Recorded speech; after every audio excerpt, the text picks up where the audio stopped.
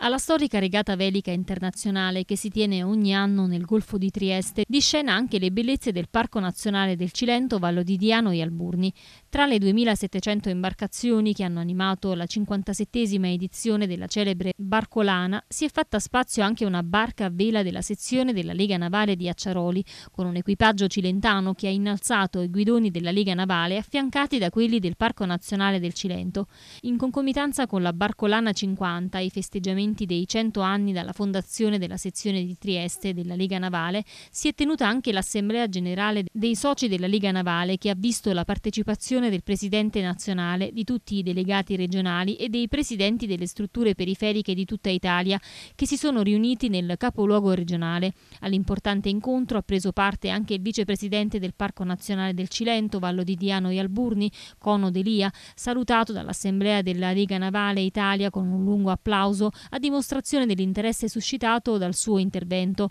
Un particolare riferimento alle attività del parco, soprattutto a quelle delle due aree marine protette, e l'invito a collaborare per sviluppare insieme attività di carattere ambientale e turistiche, uno spazio nel quale il vicepresidente non solo ha sottolineato la necessità di una forma di collaborazione con la LNI anche per la tutela e il controllo delle aree marine protette della costa di Castellabate e di quella degli infreschi della Masseta, ma è stata l'occasione per presentare la terza edizione della regata cilentana delle aree marine protette, che il Parco Nazionale del Cilento, con la Lega Navale di Acciaroli, ha già programmato per il 2019. L'iniziativa del Cilento alla Barcolana 50 ha visto anche il patrocinio del Parco Nazionale del Cilento, Vallo di Diano e Alburni, insieme alla Presidenza nazionale della Lega Navale Italiana.